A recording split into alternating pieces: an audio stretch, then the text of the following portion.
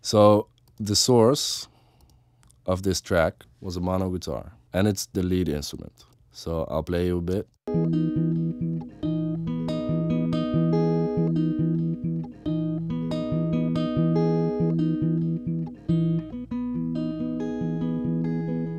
That goes throughout the entire track. I'm sorry, but it's a bit boring.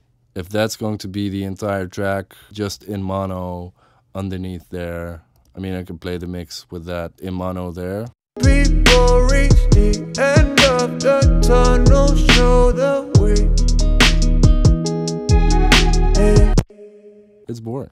I'm sorry. So I put it in a folder. I duplicated it, and this is the down mixer because I I am getting a mono file in a stereo stem. So I just want to do a down mixer, uh, mute one side, and then it continues as a mono track. So all my processing is going to be in mono, and my CPU is not getting overloaded. And then I put on autotune on one of them.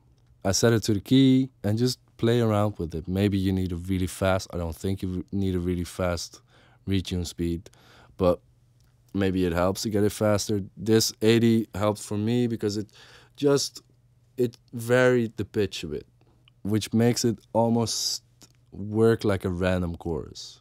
A chorus varies the pitch on one side by an LFO, which makes it wider. This just does it randomly. So it looks at the input and it just goes, okay, I'm going up, down. I wanted to say left, right, but it, the pitch doesn't go left, right. It does in the Auto-Tune plugin. It goes left and right, but actually it goes up and down. So that way you can get more width. So then I ended up with this.